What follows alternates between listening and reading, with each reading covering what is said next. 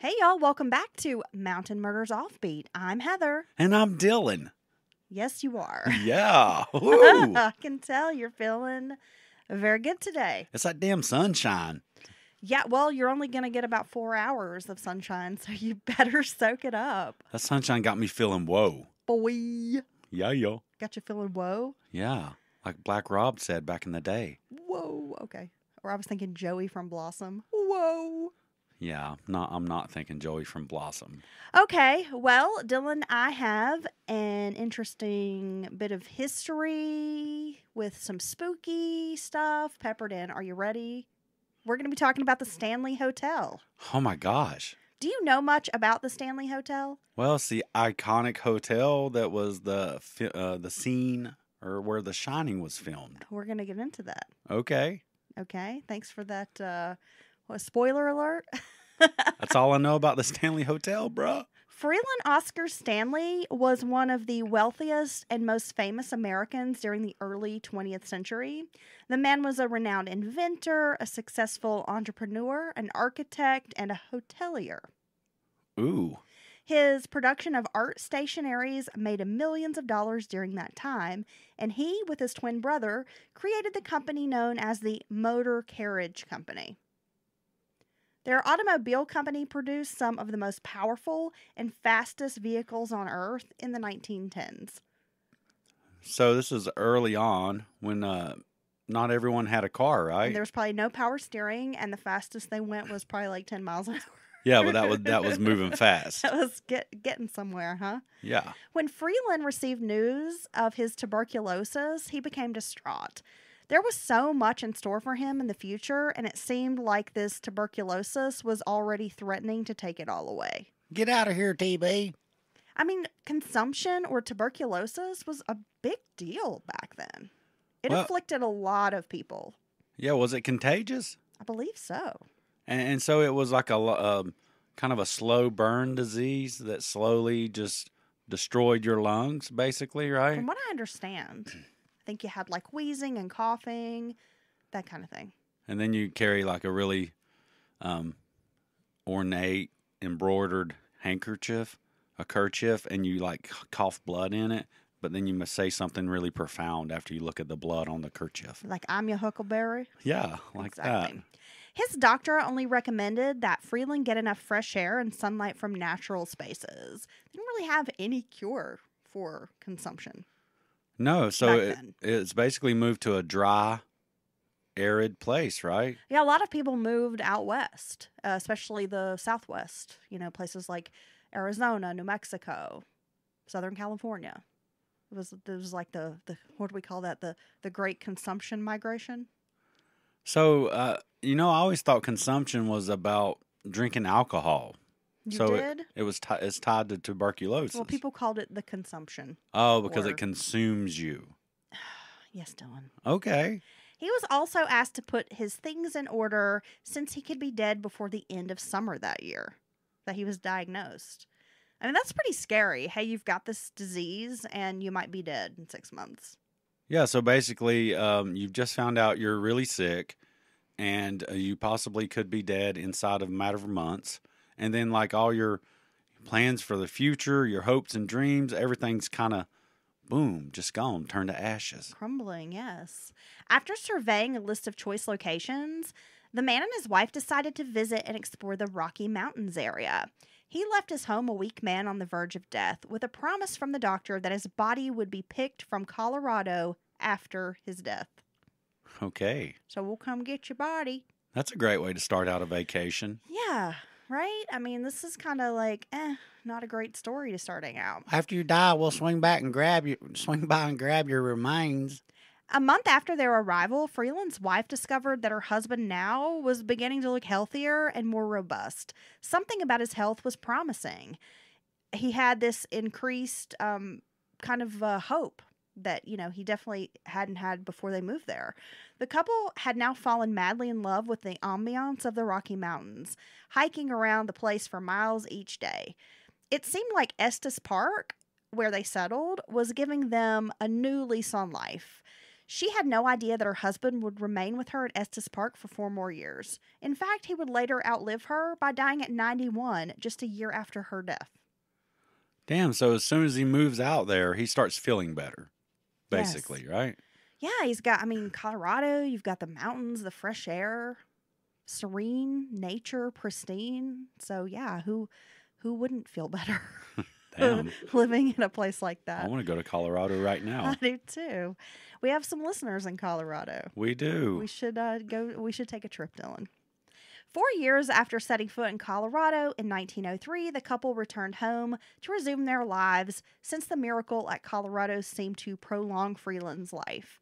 Upon returning home, they discovered that they weren't comfortable with their past lives, with all the hustle and bustle that came with it. Estes Park had taught them serenity, beauty, and an appreciation of nature. Their old lives offered none of that. For this reason, they decided to return to Colorado and build a hotel to accommodate visitors who wanted to experience the beautiful natural settings of the park. The construction of the resort began in 1907 and was completed in 1909. The building came with a hydraulic electric plant located somewhere in the mountain area to provide electricity. Visitors who arrived at the location by train were shuttled by a set of steam powered vehicles known as the mountain wagons. Damn, this dude's got loot. Th- yeah. The main building consisted of the concert hall, manager's cottage, the gatehouse, and the lodge. So this a, it's a very striking building. The hotel itself from the front. I mean, it's very uh, kind of got that gothic, you know, architecture mix in there, don't you think? Um, I don't know if I'd call it gothic. It, I mean, it seems more of that turn of the century style. I mean, to me, it kind of almost looks like a big expanding plantation house or something. And it's white. It's got the big columns. I'll post some photos. I think I was thinking of another building. You probably are. Sorry. It's okay. So by the 1970s, the hotel had become a ghost of its former self, with dilapidated rooms and a poorly maintained environment, if you will. Some say its managers were considering a close down to use the building for something completely different. There were stories about Freelan's ghost being spotted in the hotel's billiard room and bar. Sometimes hotel guests claim to have seen it at the reception stand.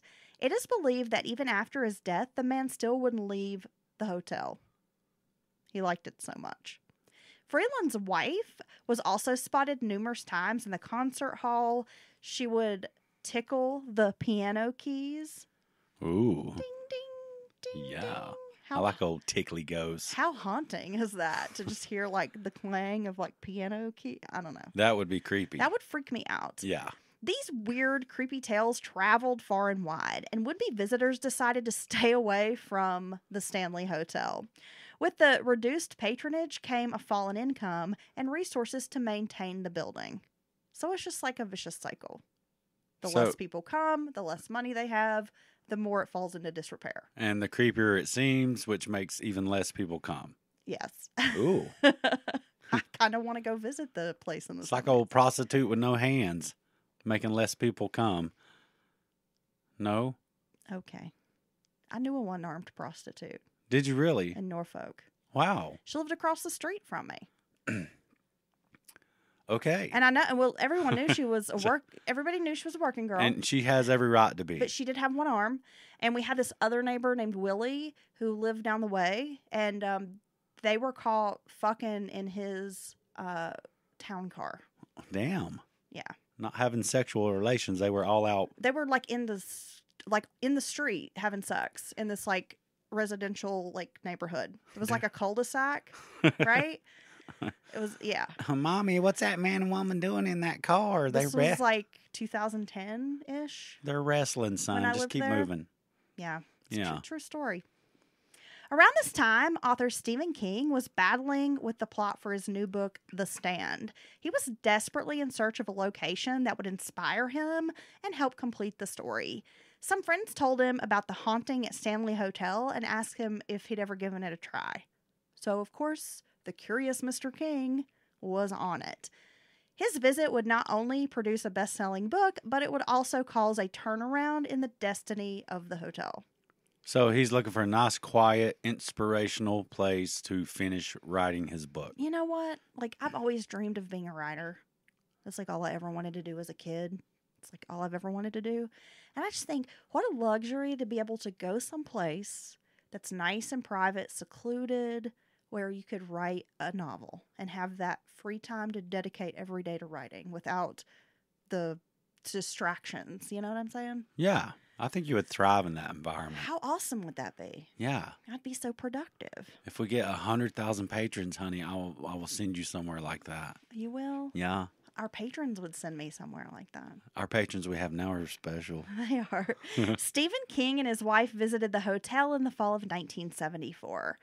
Upon arrival, the couple was told that the hotel would be closing soon for winter, which meant that only a few of the staff were left behind to attend to them, and they would be the only guests spending the night there.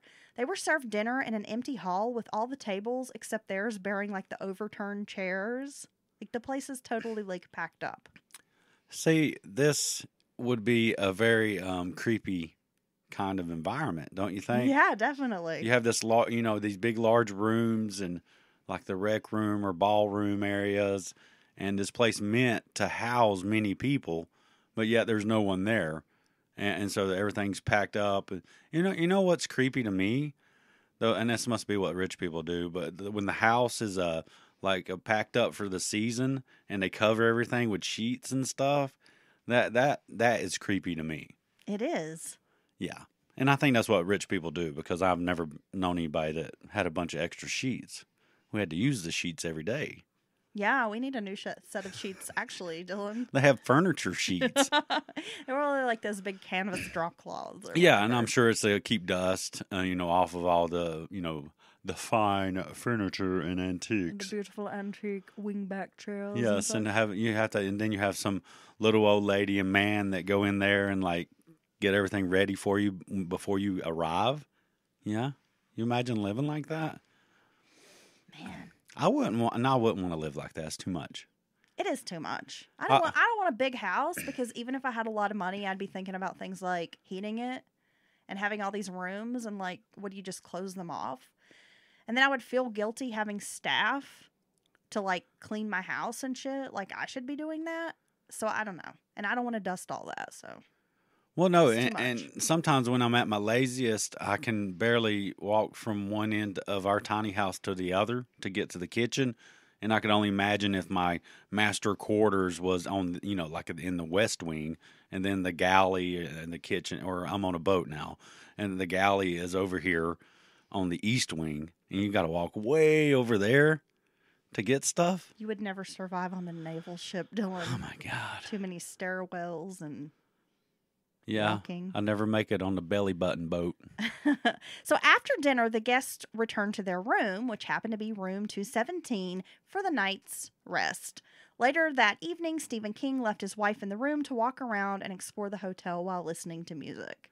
Wonder So- if he had on his beat his Beats headphones. Honestly, I've got to admit, I did not know that King actually went and stayed at the Stanley Hotel to work on a book in this setting, which is basically like the movie and book that he, he wrote. Well, Dylan, this is why we have a podcast Oh my gosh. to inform the uninformed, right? Wow. Yeah, baby, stuff it in my ear. Stephen would later describe the eerie feels he had that night while walking through the hotel's corridors. He claimed that he had seen some weird things and heard strange noises coming from various rooms as he passed their doors. That night, after retreating to the bed, Stephen King had one of the most disturbing dreams of his life. In it, he saw his three year old son darting, uh, dart, darting, I will get that out, past the hotel corridors, being chased by a fire hose. Okay. The boy was screaming and calling for help from his parents, but none could provide any help. The scenario was so traumatizing that Stephen King was jerked out of his sleep due to the shock of seeing his son so helpless in this dream.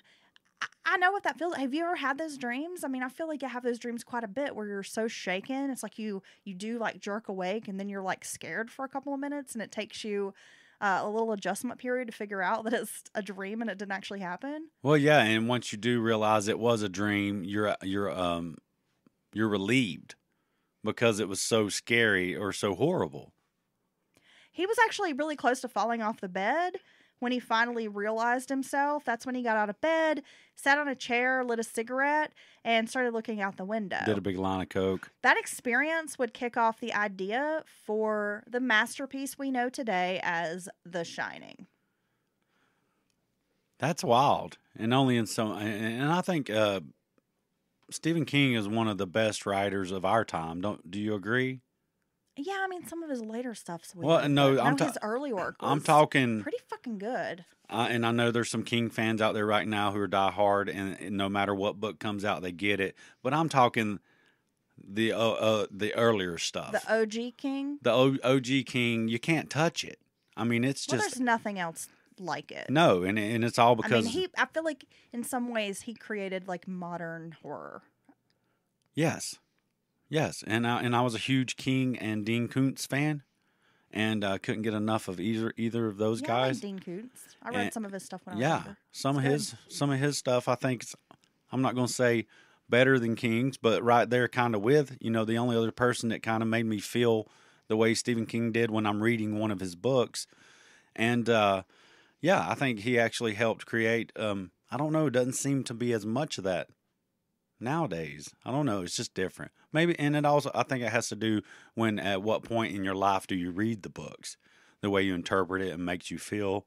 You know, you can't recreate how you are when you're 20 something reading a book. Right. I'm not going to speak for all of our readers out there, but I feel like most of us, at least the people I know who are like avid readers or into books, bookworms, um, started reading Stephen King fairly young when we were in our tweens or teens. Right. And it really kind of like developed our taste for horror, the creepy stories, you know, anticipating uh, this very like i guess elevating your anxiety what's going to happen next kind of thing you know in these books and and really kind of developed our taste for that Yeah, and uh, that's a shout out to Stephanie, one of our Discord fam. She's a, a, a voracious reader, yeah she has a book club and everything and and I think she maybe uh, knows a lot more about the modern day compared to you know the older stuff. I don't read as much as I used to. another author that rivals king is jack ketchum and he was uh, published around the same period you know i mean that's kind of when he rose to fame would have been in the late 70s early 80s and he has some pretty fucked up horror books so Really, yeah I got to read more.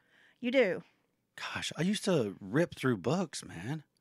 yeah sometimes i like audible Yeah, but you know what? I think reading it off the page is like just better for your brain. It is. than and I do have Kindle and I read a lot of books on the Kindle, but there's just something about holding the book and smelling the book, Yes, filling the book, yes. caressing the paper. the The, dog-eared pages. pages, Yeah. the yellowing around the outside of the spine and, Yeah. or and the for pages. me, I feel like nothing's better than buying a like a secondhand book.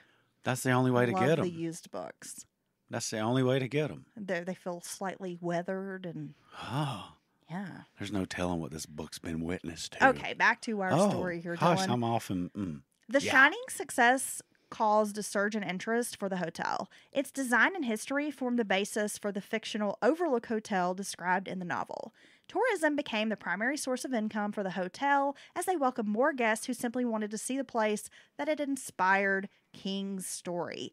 The 1980 film adaptation by Stanley Kubrick, starring Jack Nicholson and Shelley Duvall, even increased the public's interest in the hotel's history. really. I, I find with horror folks, The Shining is one of those films that people either like really love it or they hate it. Or they're like, it's not it's not that great. And, and I think that's uh, directly linked to Kubrick, because honestly, you either are head over heels for Kubrick and everything Kubrick, like my uncle, for instance, I'm a big Kubrick fan. or you don't get it. You don't get what he's doing, and because he has a certain style that just goes to through all his movies, no matter which one it is or what it's about.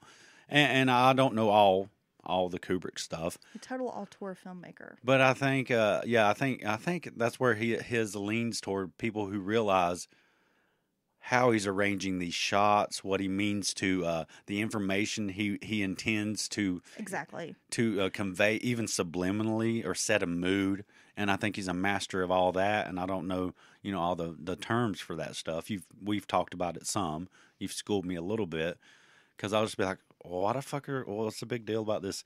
And you'll you'll break a scene down like, oh, and I'll be like, and when I know all that stuff, then I have more appreciation for what they're doing and what I'm seeing. When I was in college, I minored in film studies. Yeah, they know Heather. Uh, well, I wrote a lot of paper, like when we would do papers for classes and stuff. I, I, I did write a lot of papers on Kubrick because I, I, I thought he was amazing. And um, Lolita is a film I remember writing like an extensive paper about Lolita. Um, but I think Kubrick was a, I mean, he's a fucking master, master he craftsman when it comes to filmmaking. And I love The Shining. I think it's fucking terrifying. I, I think it is, and I think it's some of the greatest, um, one of the greatest uh, roles Jack Nicholson ever did. Oh man, he fucking made I mean, that movie. there's no, Like, there's no way I no could. im- one else could be. yeah, I couldn't imagine anyone else in that role, Johnny. and let alone being directed by Kubrick. I mean, it's like a, it's like a damn uh, superstar, you know, situation or all star. I mean, it just doesn't get better. A young Nicholson and a Kubrick. Shelley Duvall. Shelley Duvall, I mean, but famously terrorized the entire time by Kubrick, which is very strange, but seems like something he would do just to keep her in a constant state of hyper awareness and like fear. You know, uh, Hitchcock was famous for tormenting his actresses as well. Yes, Hitchcock's a very interesting person. He had a, yeah. Yeah. We should do an episode on Uh, Hitchcock. we can. oh my God. Okay, so back to our story. We've uh, we've uh, gotten off subject here. So apart from Stanley Freeman and his wife, other ghosts are believed to haunt the different floors of the building.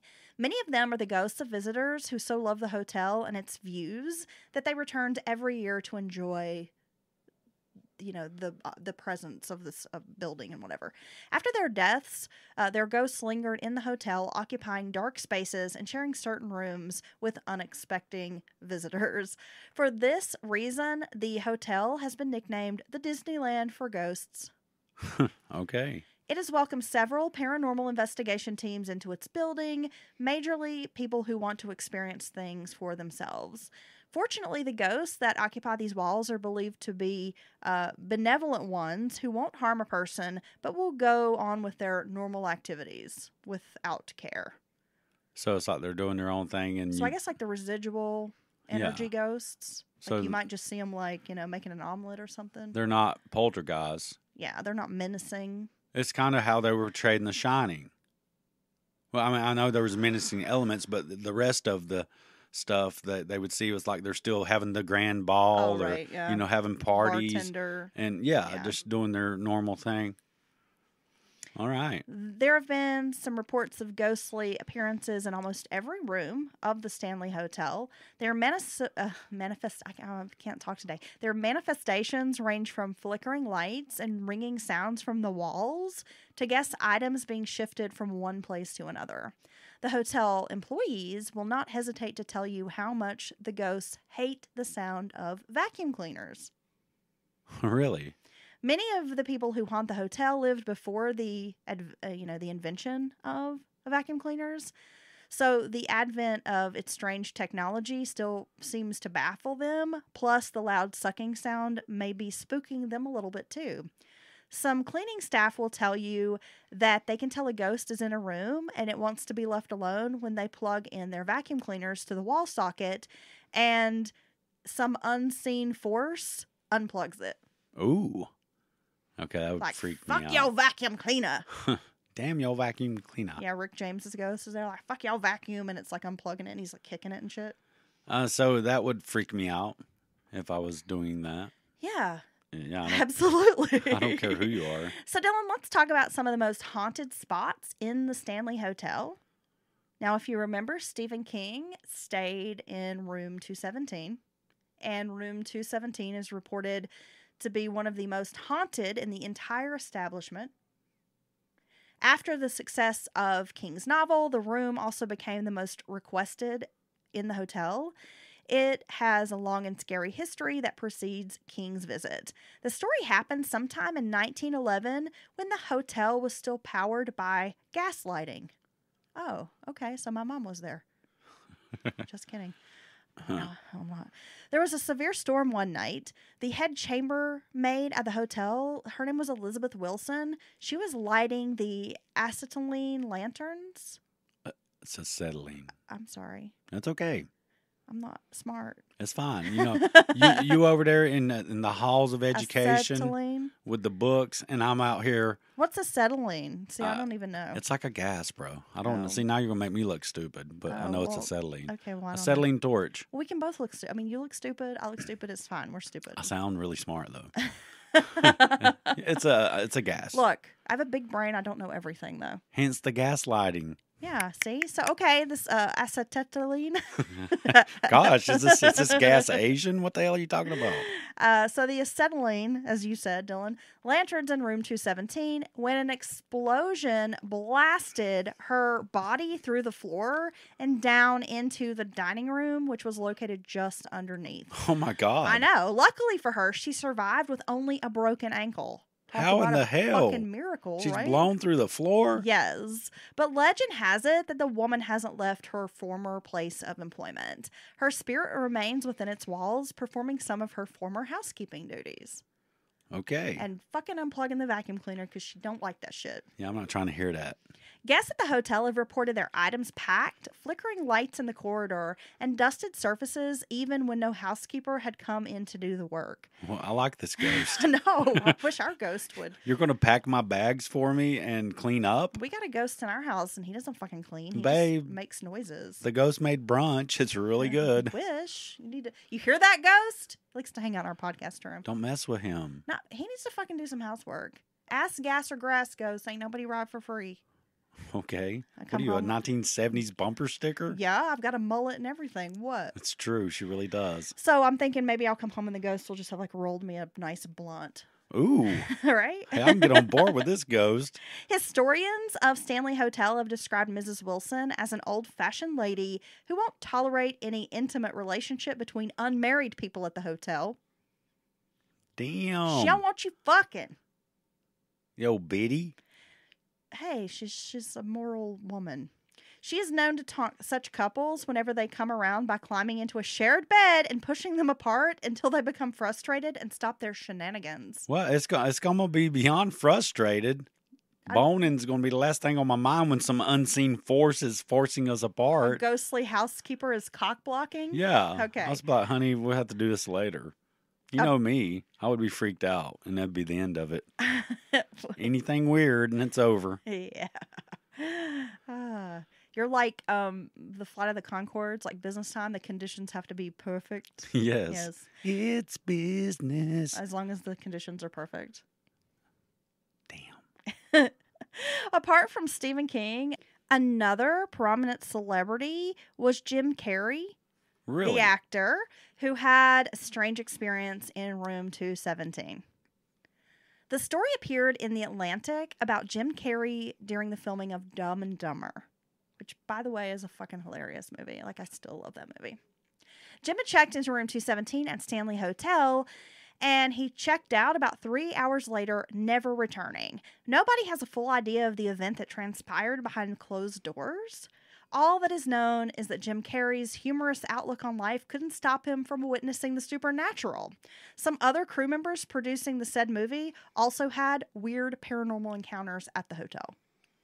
So they're filming the movie Dumb and Dumber, which apparently is in that area, Yes. and they're staying at the Sam- Stanley Hotel, crew and cast. yes. Okay, but Jim checked in, He's but like, then he "I'm peacing checked the out, fuck out. and he decided to stay somewhere else. Yes. Obviously. Wow. Alrighty then. yeah, I know, right? Okay. Okay, so let's talk about how the Stanley Hotel was an inspiration for another Stephen King novel. Uh uh Yes, Dylan. Which one? Stephen King's visit to Stanley Hotel brought lots of blessings, including The Shining, but that wasn't his only book inspired by his stay there. The idea for another of his horror novels also started to form just after the visit. This would end up as Pet Sematary. Wow. On the hotel grounds lies a pet cemetery hidden just off the side of the building. This was where pets belonging to former hotel managers and staff were buried. Some of the animals' graves on this ground pay tribute to several pets like Cassie, Elsie, and Comanche. Cassie is a golden retriever that sometimes roams the compound at night. So we got some ghost dogs on the property. Man. Her distant barks fill the night air. This happens even though no one is in the building um, owning a dog. Comanche is a brown and white fluffy cat that roams around the property. She can be seen sitting close to the window panes watching the hotel inhabitants as they, you know, offload their boxes, packages, luggage. That sounds like a very cat thing to do. Stare down upon you and judge you. Yes. In 2019, when managers of Stanley Hotel decided to dig up the graves and move the animal remains to another part of the compound, a local dog psychic. What the fuck is a local dog psychic? okay, so this woman calls herself a dog psychic. Her name is Rosemary MacArthur. Warned that the activity could lead to more than strange um, things in the hotel. Yeah, dude, you can't mess with the remains of these animals. She- Leave them alone. She was sure that the animals would be happy with the disturbance and that they would show their displeasure by causing construction delays and bursting pipes. Rosemary MacArthur suggested employing the help of a psychic so that the animals could make the much needed transition. oh, psychic like herself. Yes. Oh man, it's kind of like when Al Gore was like, "Oh, oh God, the climate's going to blow up," but then he just happens to have bought all this company or created a company that makes carbon credits, and then he's like selling carbon credits. Probably the best way to get big business on board with this, and then he got wealthy. And he created the internet. We created the internet. The hotelier built the concert hall in Stanley Hotel as a gift to his aging wife. She loved to go in there alone and play the piano, sometimes deep into the night. Many decades after her death, people have witnessed her in that hall playing her favorite instrument. Who? Another popular ghost that hangs around the concert hall is Paul. Paul, Just Paul. just Paul the ghost. Before his death, Paul used to be the caretaker of the concert hall, and he enforced the 11 p.m. curfew in the hotel. This may explain why some guests would hear someone yelling at them to get out anytime they enter the hall late at night. That is Paul's ghost keeping up with his curfew enforcement duties. One uh, construction worker who came for some repairs in the concert hall reported that he had heard someone uh, yelling at him and also nudge his shoulders, and it made him so uncomfortable that he had to get out of the place. Yeah, I mean, I mean, if I feel I don't want a ghost to berate me. no, man, don't be putting your hand, your ethereal hands on me, dude. Don't be shouting at me. It seemed like Paul was uncomfortable with this man's presence. Tour groups have also experienced Paul's services in which he flickers lights on and off at request. Oh wow. Yeah. Okay, seems like a pretty good place to do a ghost tour. Yeah. And uh, from their website, I, it seems like they do offer ghost tours. I'm sure they do. Yeah. The last ghost of the concert hall goes by the name Lucy. Lucy used to be a homeless woman in Colorado who found Stanley Hotel and decided to take refuge in it. It is believed that Paul and Mrs. Stanley saw her and decided to help out by giving her some small jobs around the property. Anytime she was less busy, Lucy would come into the concert hall and sit in a chair to kind of, you know, have a moment or so before um, returning to work. So she just go have a quiet minute in the concert hall. After her death, the ghost found a new job of entertaining ghost hunters around the hotel. Interesting. Yeah. Let's talk about the fourth floor and not just like a room, but the whole fourth floor. The whole four, fourth floor. The whole fourth floor. Uh, the Stanley Hotel contains two of the most haunted rooms in the building room 428 and room 401. But they say the entire fourth floor is haunted. These are just the, the two rooms with the most activity. Guests ushered into rooms on this floor have reported hearing children giggle and chase each other down the corridor. A long time ago, the whole floor was specially furnished to accommodate children visiting the hotel with their parents. Mr. Stanley wanted a space where the kids could be um, attached to nannies who would take care of them, and this would relieve the parents of that stress for a while. Decades later, ghosts of the children have come back to occupy the place. These ghosts have a favorite playing spot, which is close to a closet. Guests have witnessed the closet's door opening and closing on its own accord. You know, ghosts. Child ghosts are scary. Well, I was going to say they're scary. yeah. We, we've, we've talked about this before. Disembodied children chanting or giggling or saying some shit like, Do you want to play? Our little toys It's scary, bro. going off. Oh, no.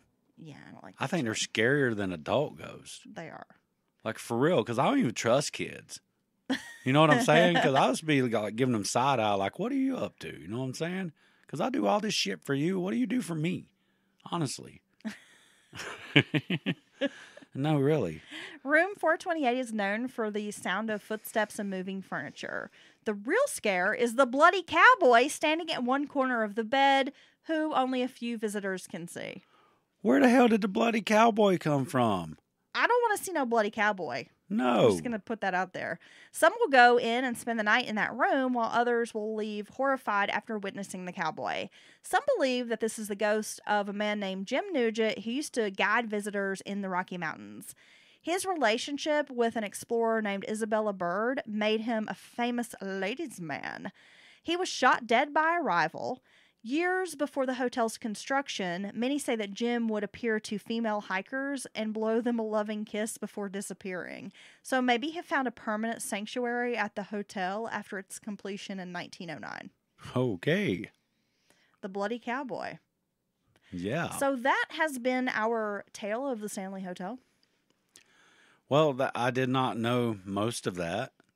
Um, and uh, it's very interesting tales of the paranormal and creepy there, even from its very beginning, with uh, Mr. Stanley having been diagnosed with a TB and uh, told he was going to die.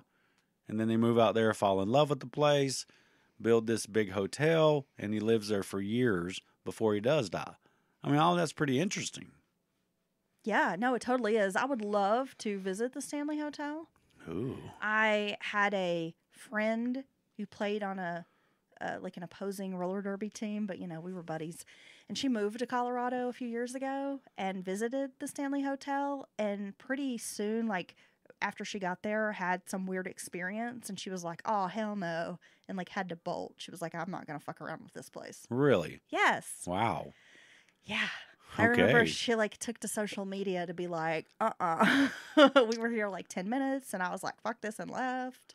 Yeah. So if any of y'all out there who hear this story have been to the Stanley Hotel, hit us up at Mountain Murders Podcast at gmail.com. Let us hear about your experience. We would love to hear. we would like to about read it. Yeah, we need to plan our trip to Colorado, Dylan. Oh my God. I've been wanting to go there for years. Yeah, it's it's really beautiful. Yeah. I think you would like it. I got reefer too.